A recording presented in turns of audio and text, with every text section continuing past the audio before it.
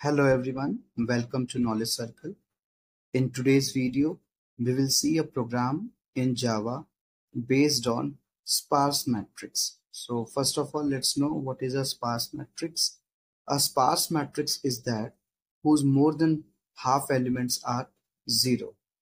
And we are going to have a program on sparse matrix. Now let's open BlueJ and create a class and then after the creation of class we'll double click and uh, the code window gets opened. Now we will begin our program. The very first line is import java util.scanner then we create the class with the name sparse and then the scope of the main function begins. Then public static void main and then object of scanner class to take input from user. Then after we create two variables here int r and c r for number of rows and c for number of columns.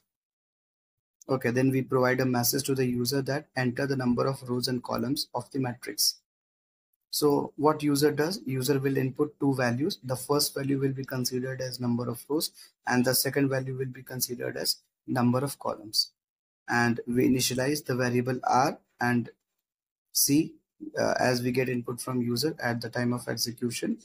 And with the help of these two values, we will declare an array int a and then uh, the square brackets double dimensional array matrix and new operator to allocate memory and then r and c are passed in the array.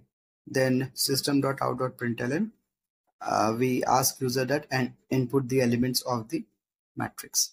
To input the elements in the matrix what we do we have to use nested loop the outer loop is responsible for number of rows and the uh, inner loop is responsible for number of columns. So the first loop goes from 0 and it goes lesser than the r number of rows i plus plus. Then the scope of the outer loop begins and then we write the second loop, the inner loop uh, for number of columns. It begins from 0, it goes lesser than c, j plus plus. Now in the inner loop, uh, we put the statement to take input from user so here we write aij ob dot next int. Okay. And then after we have to write one more statement and that's why I'm declaring here a variable uh, count as zero. So count uh, why we are doing this? We are doing this to count the number of uh, zeros present in the uh, matrix. So here we check if ij is equal to zero, then count will increase by one. Here we close the scope of the inner loop and then we close the scope of the outer loop. Now what we check here, if the number of zeros are more than half of the element. So R into C will give you number of elements. And if this condition is true, then what should happen that this matrix will be considered as sparse matrix. So here the message is given. If it is true, then this is a sparse matrix. And then otherwise, if this condition is false, then it's not a sparse matrix. So I'll just modify the message here and then we close the main and then we close the class. Let's go for compilation process. Click on compile button, class compile, no syntax. Now we will execute the program. Enter the number of rows and columns of the matrix. So here the number of rows is 3 and the column is 4. So let's enter the elements of matrix 1, 2, 0, 0.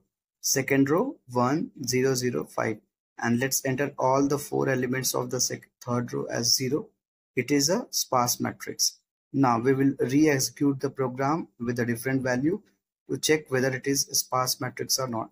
So here I enter the row and column as 2 and 2 only, 2 and 3 and enter the number of elements of matrix 250 and then 0, 5, 9.